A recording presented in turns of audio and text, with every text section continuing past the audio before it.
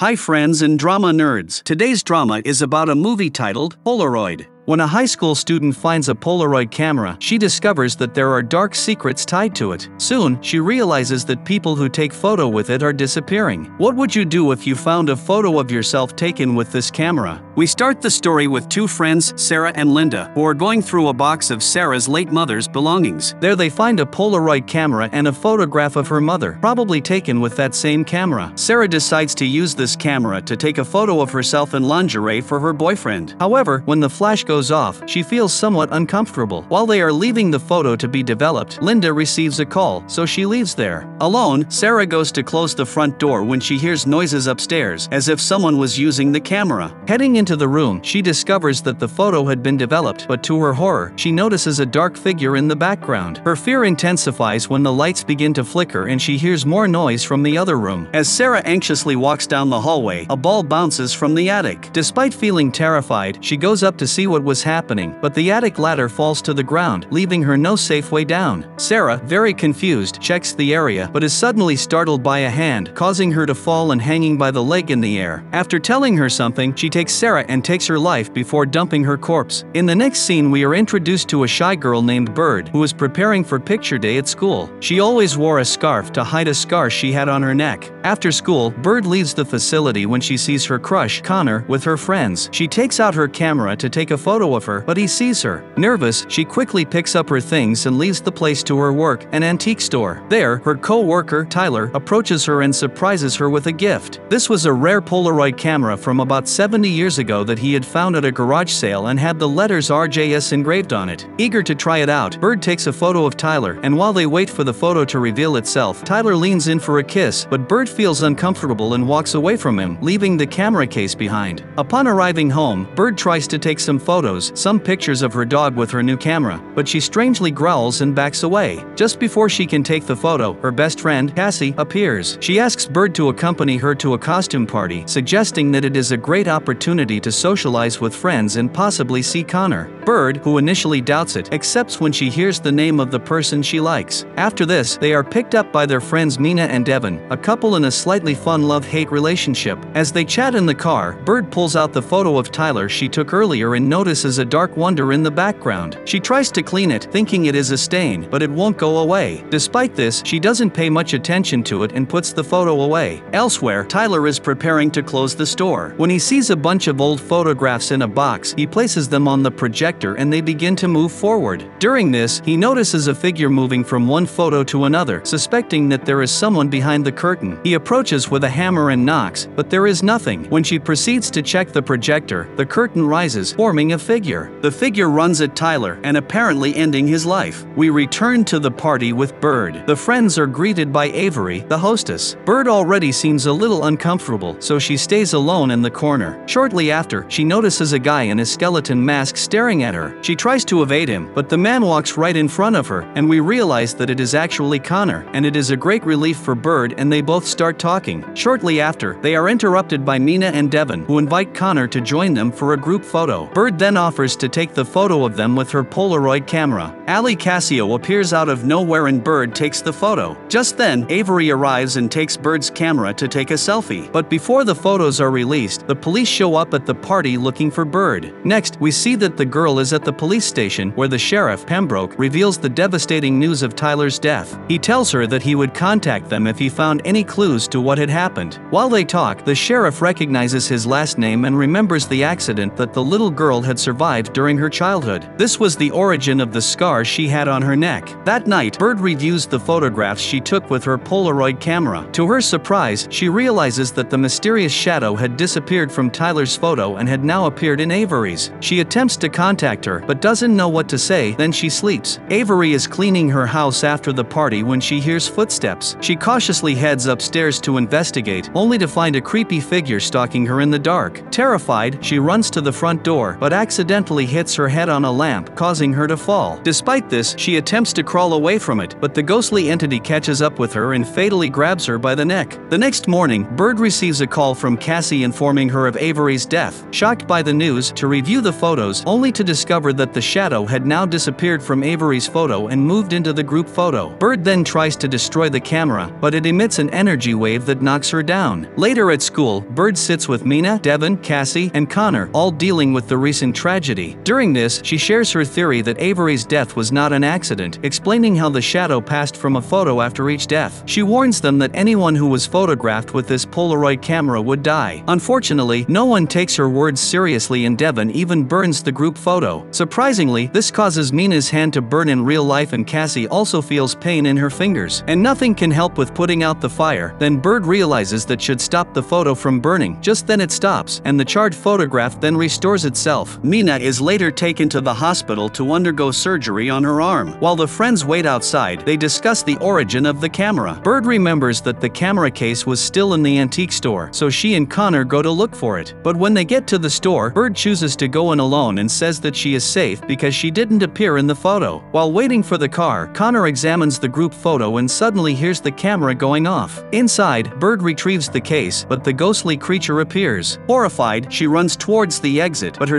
scarf gets caught on a nail. It looks like she's going to die too, but Connor arrives just in time to save her. Later, on the way back, Bird wonders why the entity was after her, to which Connor reveals that she had also appeared in the photo. It turns out that her reflection could be faintly seen in the background of the photograph. At the hospital, Mina wakes up from surgery to find Devon at her bedside. After a brief chat, her boyfriend leaves to call the nurse. At the same time, Mina receives a call from Bird telling her not to be alone. Panicking, she tries to get out of bed, but the entity suddenly attacks her. When Devon returns, he finds the room empty with a small trail, and the entity detaches itself from the bed. Devon gets off the bed and finds a trail of blood on the floor. He follows the trail and comes across Mina's lifeless body hanging. When Bird and Connor arrive at the hospital, Benedette comes talking to a police officer. Once everyone leaves, he approaches Bird and angrily blames her for causing all of this. He yells at her so loudly that Bird ends up leaving the place. Connor then follows her, and the two sit in a hallway to talk. While they talk, Bird tells him about his father, who was a reporter. One night, he wanted to show her one of her projects, but she had refused because she wanted to go to a sleepover at her friend's house. This prompted her father to turn the car around to return home, but unfortunately, he had a fatal accident. Hearing this, Connor offers her comfort and assures her that the accident was not her fault. The two then check the contents of the camera case and find a locker tag hidden inside. Intrigued, they visit the library to research the meaning of the data. After reviewing several old items, they discovered that the camera was owned by a photography teacher, Ronald Joseph Sable, from his school. He was accused of torturing four students and killing three of them while he took maniacal photographs. One of the captives had managed to escape after the police shot Ronald. Later that night, the friends meet at a restaurant to discuss their next move. In the middle of this, Bird tells them that when the entity was coming after her, she approached something hot and reacted. She then explains that while photographs are being developed, heat and light can ruin the image. Therefore, she speculated that this thing might behave like a developing photograph, meaning it can only exist in the dark. Furthermore, she also reveals that the photograph was a developed photograph. She also revealed a picture of Ronald's old house, suggesting that someone related to him may still live there and possess a little more information. They surf the internet and finds out that the house was bought by a person named Annie Faraday. In the middle of the argument, Devon was frustrated by Mina's fate and decides to take a photo with the camera to understand how it works. But Connor doesn't like the idea, which leads to a small struggle and he accidentally takes a photo of it. So the group waits anxiously for the image to be revealed. Shortly after, Devon is seen in the photo and the shadows move. Transfers to him, indicating that he is the next victim. Fearing for his life, Devon tries to use the camera on Connor, but in a desperate attempt to stop him, Casey stabs Devon's photo with a pencil, and in the real-time effect causes the camera to fall off from his hand and makes a hole in his palm. This angers Devon and he tries to attack his friends, but Sheriff Pembroke appears at the right time and arrests